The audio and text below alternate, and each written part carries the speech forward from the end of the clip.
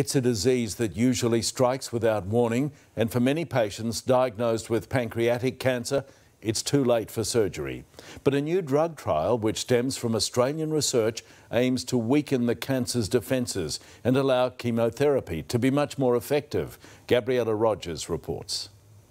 Jess lost her partner Mike from pancreatic cancer last Christmas, 16 months after his diagnosis. He did really well to survive that long. He loved mentoring, especially young kids in sport, um, and he was a real people person. There were no subtle early warning signs for the 66 year old. He played golf, a round of golf on a Monday, and then he got really quite suddenly ill after that. Over the years, this is going to become the second leading cause of cancer deaths, um, and we need to do something about it. That something includes this a capsule called AMP 945.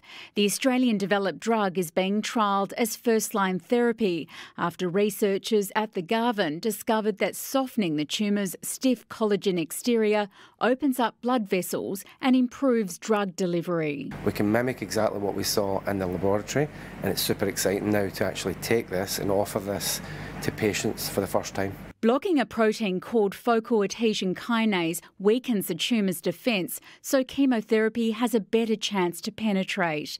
Advanced imaging shows the active cancer cells in red despite chemotherapy and the effects of adding the new treatment. You improve survival of animals in those models quite significantly. The drug has already passed human safety trials, and this new phase two study will involve 62 patients with advanced disease. Give give patients AMP 945 for seven days, then we would stop, let them have their chemotherapy, and then give them another pulse before their second and third dose. Without research, you, you know, I just don't see that you can progress. Trial information can be found on this website.